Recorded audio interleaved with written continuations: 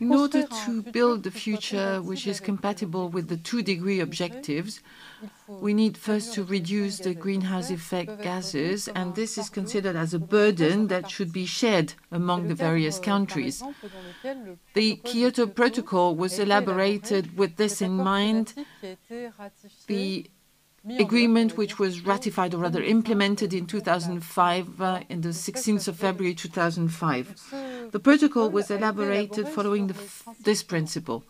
Only northern countries were supposed to share the burden. Developing countries were exonerated, and the protocol covered a period going from 1990 to a sliding uh, deadline between 2008 and 2012.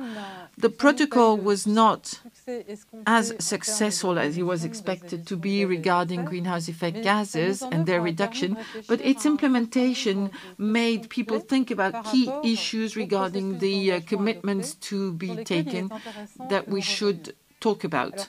First of all, the countries had to understand how to best share the burden. There were two options.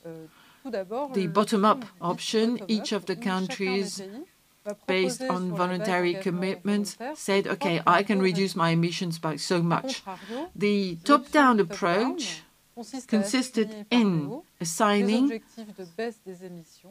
greenhouse effect gas emission reduction to be then applied by the uh, emitting countries. The Kyoto Protocol, therefore, obeyed to the top-down approach supported by Europe, because Europe thought that this was a way to impose a kind of climatic governance.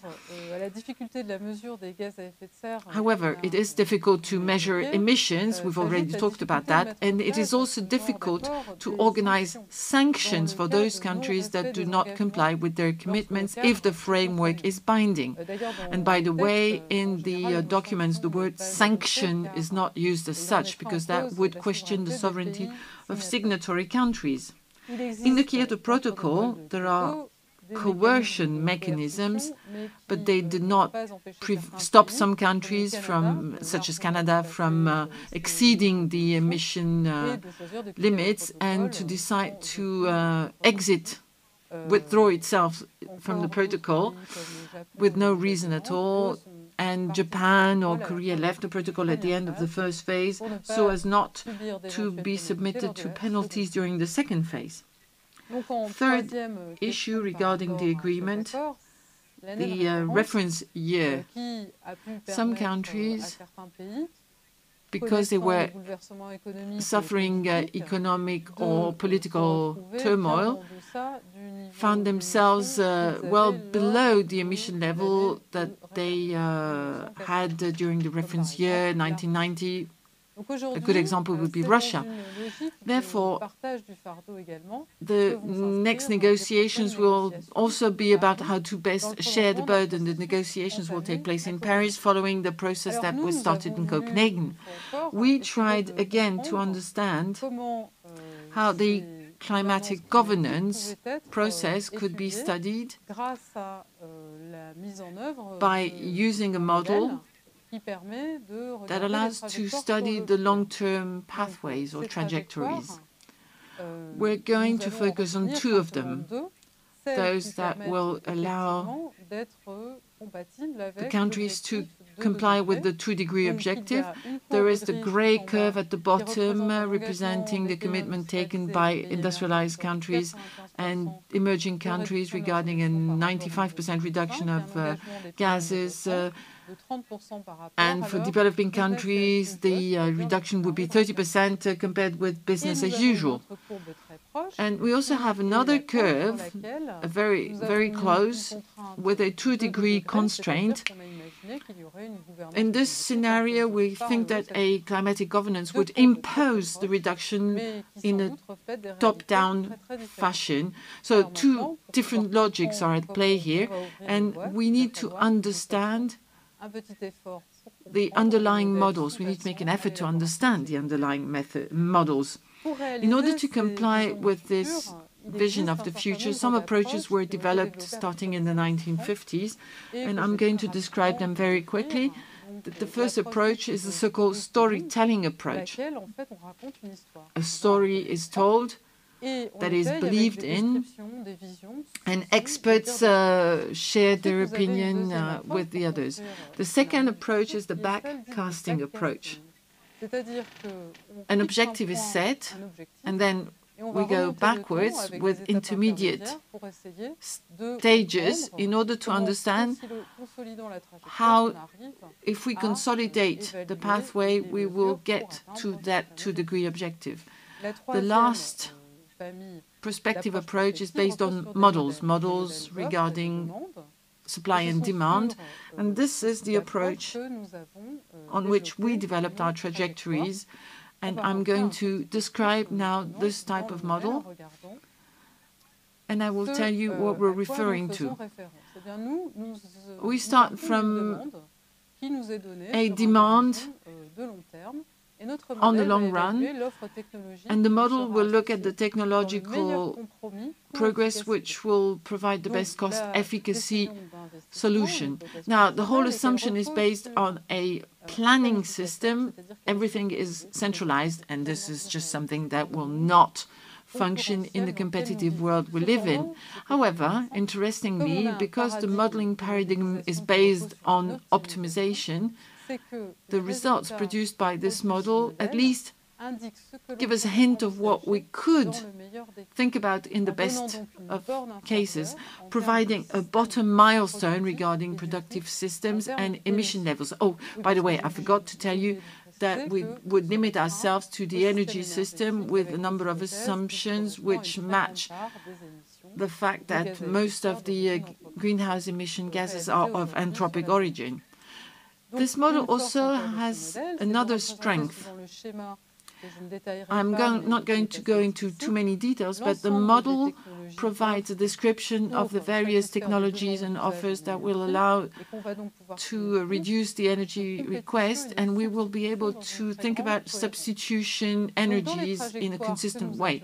Now, this graph that I showed you earlier shows a number of uh, pathways behind which we find in energy production system associated with a given area. The model divides the world in 16 regions, 16 areas. Now that we have opened the black box, we can start again the discussion on how best to share the burden.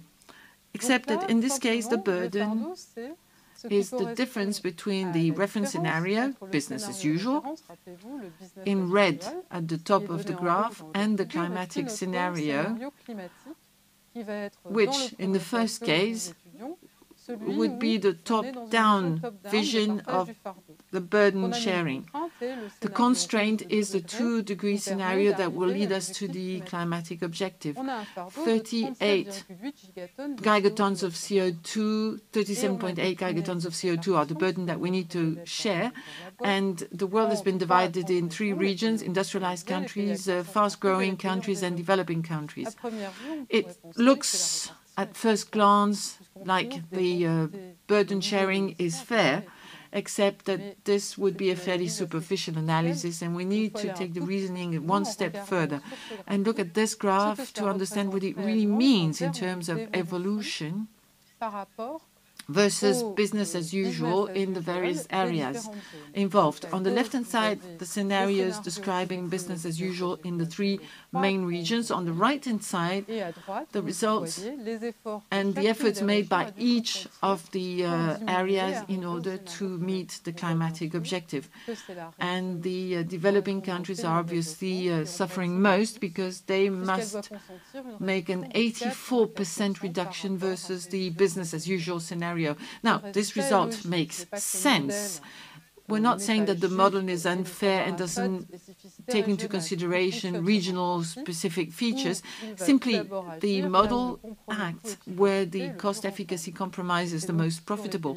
And obviously, in developing countries, this is where the efforts should be made because this is where they would be both most efficient and cheapest to implement. Now, if we take a bottom-up scenario of the burden sharing, that is, the countries uh, take voluntary commitments, the sharing would be very different.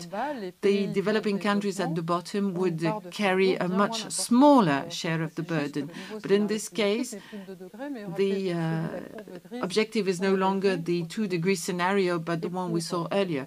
Now, in order to conclude this analysis, one needs to understand that in this scenario, the uh, sharing would take into consideration regional specific features. If we compare the business-as-usual scenario with the new climatic scenario, we see that the effort is lighter for developing countries and heavier for fast-emerging countries and industrialized countries. Therefore, we considered that emerging countries were not supposed to carry the blame, the historic burden of, for emissions, or else they would not be required to make an 84% effort in gas emission reduction. Uh, this is the approach that will be presiding over the next negotiations taking place in Paris in December during the COP21 conference.